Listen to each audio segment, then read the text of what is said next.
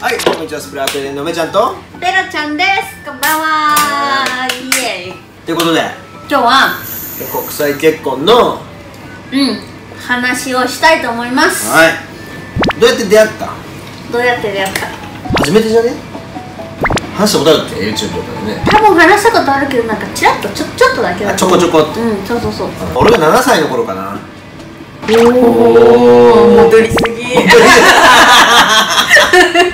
7歳の頃に俺は外人と結婚するって決めて海外興味あってインドに行ってヨーロッパ行って、うでヨーロッパでまあ Facebook みたいなやつでね。うん。次どこの国行こうかなーっつってね。そうしたらベロちゃんにそこで会った。でで私はね日本に住みに行きたいって思ってて、日本人だけに教えるにスペイン語の先生だったね。そうやってて。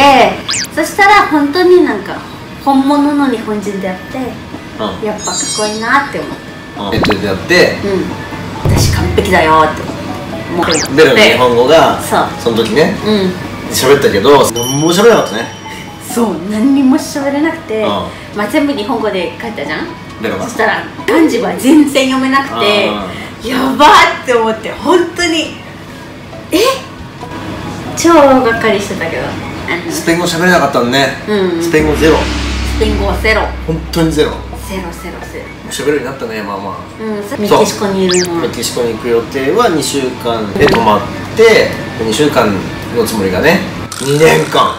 2年間。2年間メキシコにベロンチに居座って10年前ぐらい。10年。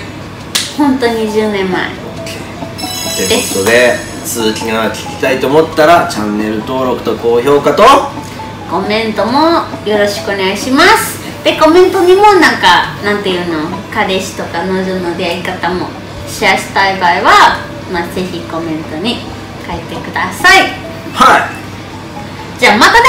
アディオスアミゴバイバイ。アディオス